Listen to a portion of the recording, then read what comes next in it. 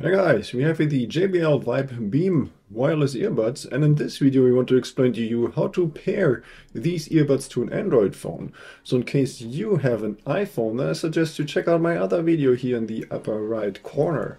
But now let's get started with our Android phone here. So the first thing you have to do is we're going to take out the two earbuds out of the charging case and assuming you have already activated them, so you have previously removed the sticker that was on the bottom on both earbuds and then placed the earbuds back into the charging case to activate them. So as long as you have already done that and you have never paired them before, then your earbuds should immediately go into the Bluetooth pairing mode, which you can see by the quickly or rapidly blinking blue light of the at the top of both earbuds. So what we're seeing here.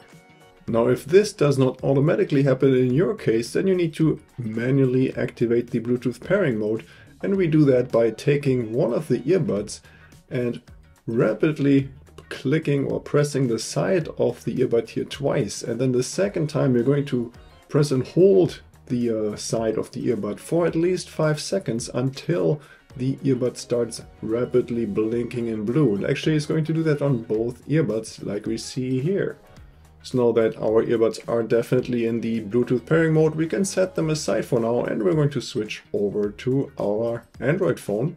And here we're going to access the settings menu and we can reach this by just simply sliding down from the top of the screen and here in this corner we're going to find this cogwheel icon. We're going to click on that and then here we're going to find in the following menu the connections.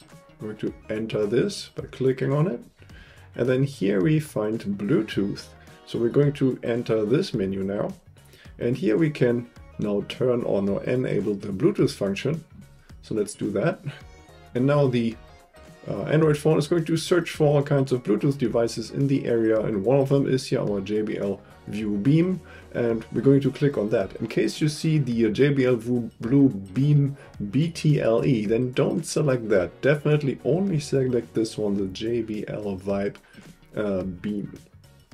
So we're going to select this, and we have here a confirmation pop-up, so we want to definitely pair, so we're going to say OK.